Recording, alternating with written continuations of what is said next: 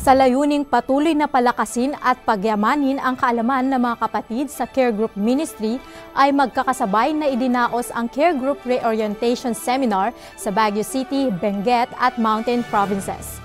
Sa mga lectures, muling binigyang diin ang biblical foundations, responsibilities at mga paraan kung paano magiging epektibo ang Care Group Ministry sa paglilingkod ng kanilang mga simbahan.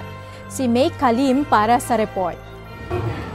Care Group, isang effective evangelistic tool kung aktibo at positibong gagamitin ng mga miyembro ng Seventh-day Adventist Church.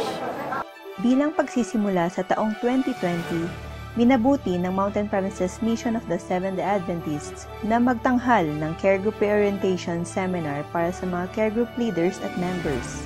Sabay-sabay na ginanap ang naturang seminar sa Baguio City, Benguet at Mountain Province noong Enero 18 muling isinaalang-alang ang biblical foundations ng care group.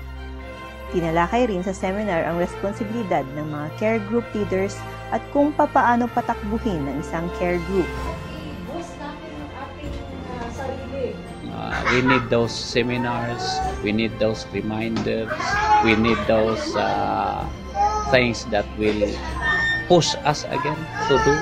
At ang resulta, care group leaders and members got clearer understanding on how to run care group meetings as they have expressed it during the testimony hour. Yan ay ayon kay Pastor Valentin Aplod, Ministerial Director ng Mountain Provinces Mission. May mga na-reorganized care groups din. Lahat ay nag-commit na ipapanalangin at hihingin lagi sa may kapal ang tulong ng Espiritu Santo sa gawain ito.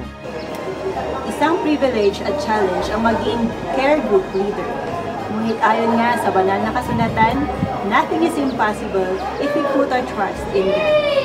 Sa ngalan ng Blue Pointers MPM, ako po si May Seller Kali para sa Hope Today.